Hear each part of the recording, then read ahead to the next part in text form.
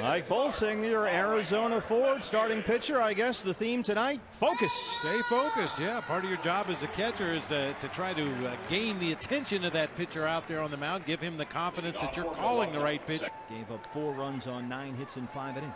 2 2 to Braun. Called strike three. Good start for Mike Bolsinger. Two down. He gets Reynolds to chase.